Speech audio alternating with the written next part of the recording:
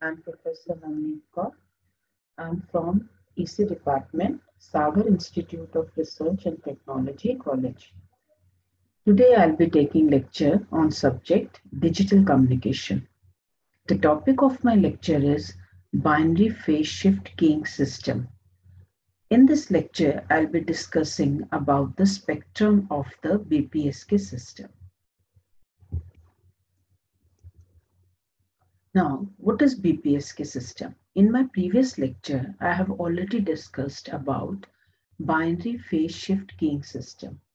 In binary phase shift keying system, binary symbols 1 and 0 modulates the phase of the carrier. That means the phase of the carrier varies according to the amplitude of the binary message. That is, when message symbol is 1, the, the carrier signal is given by A cos 2 pi f naught t, where A is the amplitude of the carrier signal and f naught is the frequency of the carrier signal. Whereas when the message signal becomes zero, there is a phase shift of 180 degree in the carrier signal. That means the carrier signal will be represented as a new modulated signal which is a cos 2 pi f naught t plus pi which will be given as minus a cos 2 pi f naught t. Here a is the peak value of the sinusoidal carrier. So when it is represented in terms of the power of the signal, it is given as power is a square by 2 or a is written as root 2p. So in this equation, I can write a as root 2p where p is the power of the signal. So here we can see when symbol is 1, the modulated signal is represented by S1t, which is given by root 2p cos 2 pi f0t. Whereas when the symbol is 0, the modulated signal is represented by S2t. So there is a phase shift of 180 degrees. So as we know, cos theta plus pi is given as minus cos theta. So S2t will be given as minus root 2p cos 2 pi f naught t. So in general form, I can write my modulated signal as bt root 2p cos 2 pi f naught t, where bt is plus 1 when binary 1 is transmitted and bt is minus 1 when binary 0 is transmitted. That means bt is the bipolar version of the message signal which is dt, which is the unipolar version, which is represented only in the form of 1 and 0. Now here we can see binary phase shift keying waveforms. So this is the binary sequence which is unipolar version. That means it is represented as 1 and 0.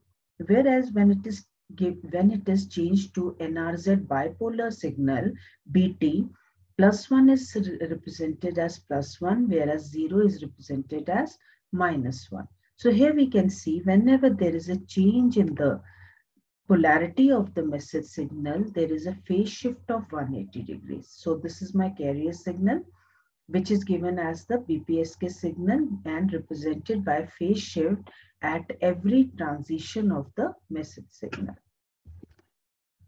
Now, coming to the spectrum of the BPSK signal.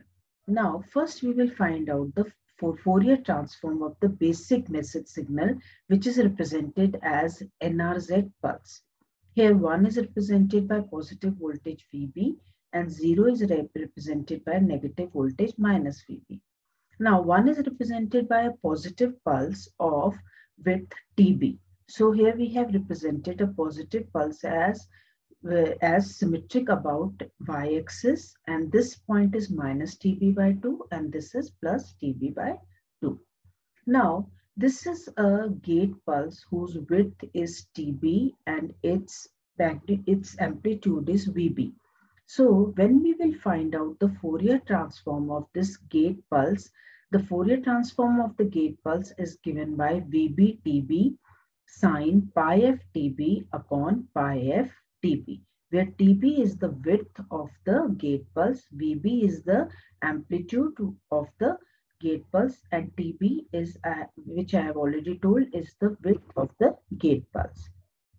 Now, to find the spectrum of the BPSK signal, I need to find power spectral density of this pulse. Now, the power spectral density SF is given by as the square of the Fourier transform of the pulse divided by TS. TS is the duration of one symbol. Now, I have already calculated XF in my previous slide. So, I'll substitute the value of XF here. So, the PSD SF will be given as VB square TB sine pi f TB whole square upon pi f TB. Now here, when I'll divide it by TS, since it is BPSK signal here, the symbol duration and bit duration are both equal.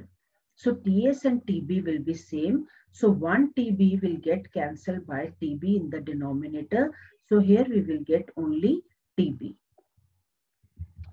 Now, when I will draw the spectrum of the BPSK signal, I, I'll have to plot this power spectral density. Now, here I can see the power spectral density is given as the square of this function, which is also known as sinc function. The sinc function is a decaying sinusoidal signal.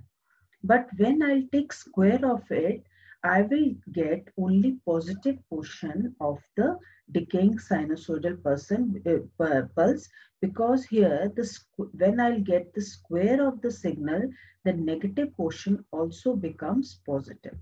So here I can see this is the power spectral density of the NRZ signal. The first zero crossing is given by FB, second zero crossing is 2FB, and the maximum amplitude is given by PTB. Now, this is the, the spectrum which I had shown here is the spectrum of the basic NRZ pulse. Now, I want to generate BPSK signal, which is the modulated signal. This signal is generated when I'll multiply this basic NRZ pulse with carrier signal, which is cos omega CT. Cos omega CT is given as e to the power j omega CT plus e to the power minus j omega ct divided by 2. So when my basic NRZ pulse is multiplied by the exponential function, then according to the frequency translation theorem, the spectrum of the signal will be shifted by the frequency which is given in the exponential function. So the basic power spectral density was VB square TB and into square of the sinc function.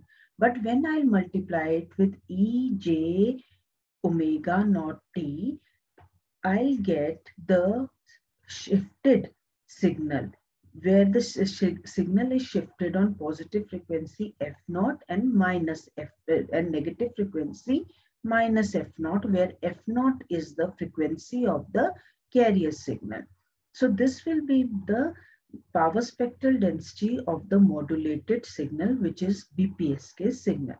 So here I can see from this equation that the spectrum of the basic NRZ pulse will be shifted at F0 and minus F0. So this will be the spectrum of the BPSK signal.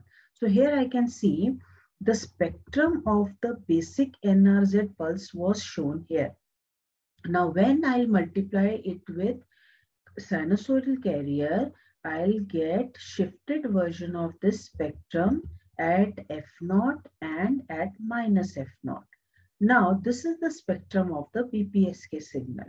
Now, if I want to find out the bandwidth of the BPSK signal, I'll consider the main lobe because the area under the main lobe is maximum. That is the power contained in the main lobe is maximum as compared to the side lobes. So for bandwidth, I'll consider this frequency range from minus F0 minus FB to F0 plus FB. So this width will be 2 FB. So the bandwidth will be given as the highest frequency minus lowest frequency in the main lobe, which is highest frequency is given by F naught plus FB, whereas lowest frequency is given as F naught minus FB. So bandwidth will be 2 FB. So here I, I have so here we can see that the bandwidth of the BPSK signal is equal to twice of the highest frequency contained in the baseband signal. now we will see the geometric representation of the BPSK signal. Now, we have already discussed that the BPSK signal is given by the equation Bt root 2p cos 2 pi f naught t. So we will multiply and divide with root tb. So Bt root ptb into root 2 upon tb cos 2 pi f naught t. Now this part root 2 upon tb cos 2 pi f naught t, I'll, I'll represent it with phi 1 t which is orthonormal carrier signal. So here I'll write bt root p into tb power into time is represented by energy. So I'll write it as root eb and this I have represented with orthonormal carrier signal phi 1 t. So I'll get the modulated signal as ST BT root EB phi 1T. So here ST BT root EB phi 1T. Now we have already discussed BT is the NRZ signal which is having value plus 1 or minus 1. So instead of BT we have written plus root EB phi 1T when message is 1 and when message is 0 it is given by minus root EB phi 1T. Now, to find out the geometrical representation of the BPSK signal, we will represent in the signal space. So this is say origin. Now, for signal 1, it is root EB phi 1T. Now, phi 1T is the vector which is say in this right hand side direction. So first, when the message signal is 1, ST will be plus root EB phi 1T. That means we will have to go distance of root EB in the direction of phi 1t. So, say this is the direction of phi 1t, we will move for a distance of root EB. So, this will represent the symbol 1. Similarly, when the message is 0, ST is minus root EB phi 1t. That means we will move in the opposite direction of phi 1t and the length will be root EB. So, this will be the symbol 0. Now, if I want to find out the distance between the two symbols 1 and 0, it will root EB is from 0 to this point and 0 to this point is again root EB. So total distance will be twice root EB. So here we'll see that the distance between the two symbols is 2 root EB. Now here when the distance d increases, the isolation between the two symbols in BPSK signal will also increase and so in that case, the probability of error will reduce because the possibility of the overlapping of two signals will also reduce. Now this is all for today's lecture. Thank you.